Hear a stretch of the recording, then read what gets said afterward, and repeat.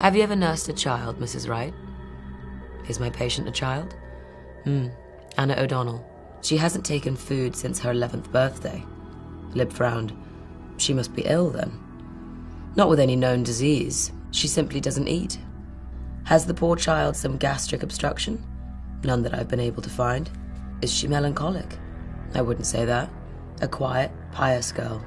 Ah, so this was a religious enthusiasm, perhaps, not a medical matter at all. Had Lib been dragged across the sea for this, a child's whim? The O'Donnells must have panicked the first day their daughter turned up her nose at her breakfast and shot off a telegram to London, demanding not just any nurse, send a nightingale. How long has it been since her birthday? she asked.